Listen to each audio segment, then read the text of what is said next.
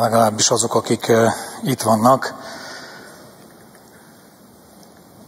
Nagyon nehéz szavakat találni újra és újra, hogy meddig tud még a kormány jogalkotás minőségében süllyedni, és hogy a cinizmus tekintetében pedig újabb és újabb rekordokat dönteni. Ez egy ilyen nap ismét. Az a törvényjavaslat címe, ezek mostában csak ezen szoktam leginkább neve kacarászni, mert mindent elmond önökről, a kormányzásukról, arról, hogy önök hogy tekintenek erre az intézményre, ahol most itt éppen vagyunk, a Magyar Országgyűlésre, annak szerepére, a saját képviselői esküjükre, a saját képviselői tevékenységükre. Azt mondja ez a törvény, hogy az állam működését érintő egyes törvények módosításáról. És kapunk egy 91 oldalas törvényjavaslatot, 60 törvényt módosít, Mindezt hétfőn délben benyújtják, és most kedden délőtt jól megtárgyaljuk. Bocsánat, kiegészítendő. Tegnap este még a Törvényalkotási Bizottság ülésen egy jó 30 oldalas javaslattal átírják, mert hogy a benyújtás után néhány órával rájönnek, hogy arra is alkalmatlan, hogy önök egyáltalán megszavazzák, nem arra, hogy egy normális országban parlament elé kerülhessen. Van egy elvi problémám. Most már lassan ott leszünk tényleg, mint a, az előző rendszerben, hogy lehet egy tavaszi meg egy őszi ülésszak, nem kell már az állam működését érintő egyes törvények módosítására behozni ilyen 90 oldalas törvényt. Hát hozzanak be egy egyes törvények módosításáról szóló salátatörvényt február 15-én, 287 oldal, minden, amit akar a vezér meg a vezérkar, azt tessék itt átnyomni két nap alatt, vagy egy nap alatt, az mehet mindenki a balcsira, vagy ahova akar. Mert ez most igen csak úgy néz ki, tisztelt államtitkár úr. Hát egészen elképesztő. De a valóságot nézzük, akkor, ha és még maradunk a címénél, akkor nem az állam működését érintő egyes törvények módosításáról szól ez, hanem az állam működésképtelenségét érintő egyes törvények módosításáról. Ennek a törvényjavaslatnak a döntő többsége a belügyminisztérium hatáskörébe tartozik. Nyilvánvalóan ők készítették elő, nyilvánvalóan ők csinálták valamilyen módon egy szempontból.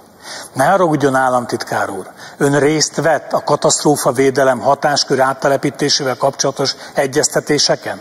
Fogalma van róla, hogy a tűzoltóságnál, a katasztrófavédelemnél milyen problémák vannak, és mit gondolnak erről az ott dolgozó emberek?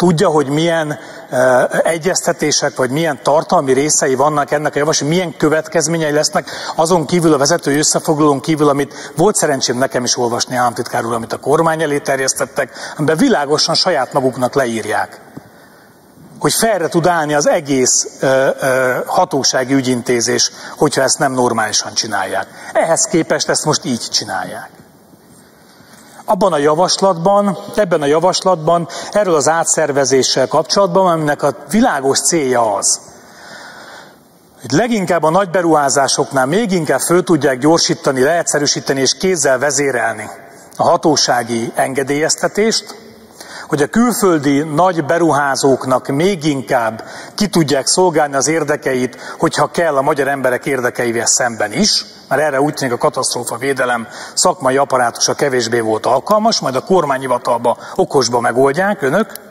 az egyik oka ez volt, a másik oka meg az, amiről évek óta beszélünk, hogy olyan létszámhiány van az egész rendvédelem területén, hogy valóban nem működött a hatósági engedélyeztetés, mert ahogy a saját előterjesztésükbe leírják, már most sincs ember, és ha ezt az átszervezést úgy csinálják, hogy az emberek nem mennek majd át a kormányhivatalhoz, akkor effektíve nem fog működni a rendszer. Saját maguk leírták, államtitkár úr, bizonyára olvasta ön is.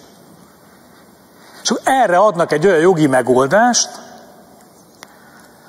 hogy sarokba szorítják a most hivatásos állományú embereket egy szokásos ilyen pisztolya fejhez megoldással, hogy vagy átmész most komám, és akkor két évig megtarthatod a fizetésedet, vagy nem, és akkor viszont látásra.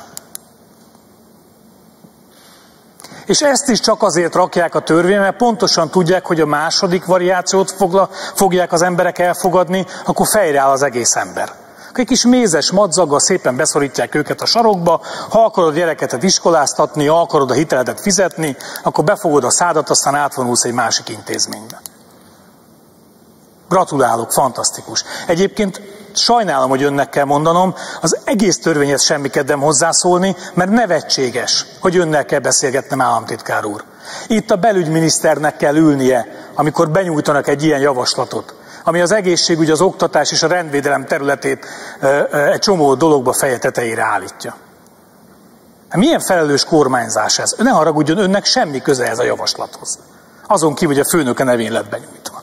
Nem is önök készítették elő és nem is tudok önnel, ha akarnék, se szakmai vitát folytatni. Gondolom az én e, hiányosságaim miatt is az egészségügyről, meg az oktatásról kevésbé, de a rendvédelem területén valószínűleg kettőnk közül nem az én hiányosságom miatt. Nem tudnánk szakmai vitát folytatni arról, hogy milyen szabályokat ír elő ez az országgyűlés mostantól az embereknek itt néhány órán belül. Sok százezer, ha a családokat nézzük és a közoktatási részt nézzük, sok millió embernek. Nem megyek bele, mert egyszerűen nem méltó az, az egész arra, hogy az szakmai szempontból végigvegyük a javaslatot. Persze van benne egy-két támogatható dolog is. Hát, egyébként csoda, hogy a 60 törvény módosításából mondjuk kettőt föl lehet sorolni, amit az ember szívesen megszavaz, vagy hármat. A Battyányi Stratman alapítvány létrehozása, ha tényleg azt a célt fogja szolgálni, hogy az igen drága gyógyszerek támogatására, ami gyorsabb és hatékonyabb megoldás legyen, mint a mai, és gondolom, hogy a NEAK ügyintézési gyorsasága tekintetében szintén van némi összefüggés az apparátus működésképtelenségével, de, de legyen ez jó, nagyon reméljük, hogy az lesz, mert emberek élete múlik ezen, és attól tartok, hogy mindenki családjában van lassan olyan, akit ez érintett már.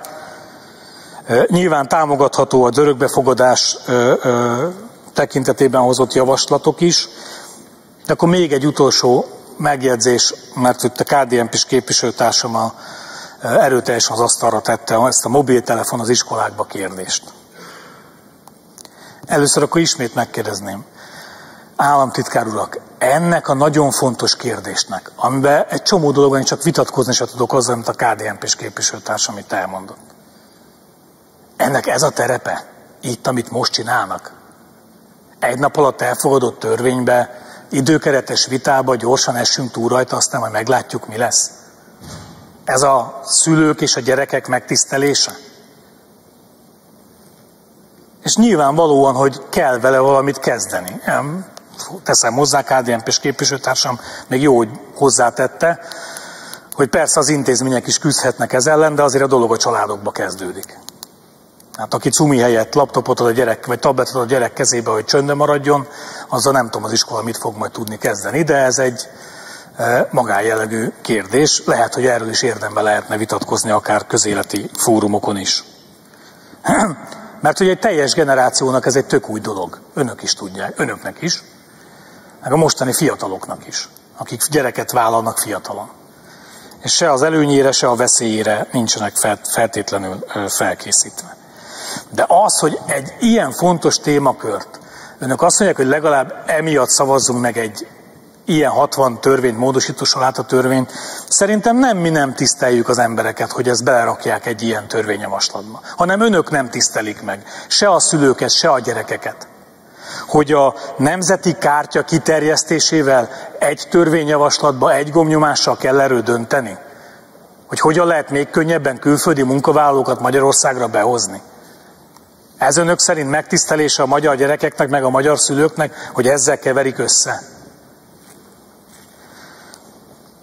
Tisztelt képviselőtársaim, egyszerűen ez így nem jogalkotás. Még ezt a kilenc percet se érdemelte volna meg, ez a javaslat, nem a tartalma, az órákat, meg napokat, meg heteket érdemelnek, külön-külön. Ahogy a jogalkotási törvényben ma is le van írva, csak tojnak rá egy nagyot, nem tudok más mondani. Nem lehet, nem beszélünk így, igaza van államtitkár úr, meg nem nyújtunk be ilyen törvényjavaslatokat, meg nem, üres, nem üresítjük ki a parlamentet, meg nem nézzük hülyének az egész országot. És mondhatja államtitkár úr, hogy ennek van 45%-a Magyarországon. Ettől még ez nem lesz jó. Ettől még ez szégyen kontraproduktív, és mindennek lehethető, csak kormányzásnak nem. Köszönöm, hogy meghallgattam.